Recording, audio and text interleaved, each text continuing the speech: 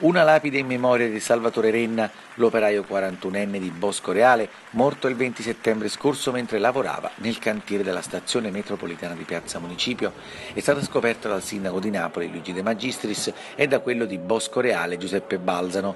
A Bosco Reale viveva Salvatore Renna.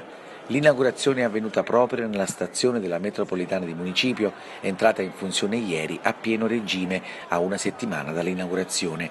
Alla cerimonia ha preso parte anche la moglie di Salvatore Renna. Non è un caso che l'abbiamo voluto ricordare oggi, non solo perché entra in funzione questa stazione, ma anche perché è la festa della Repubblica.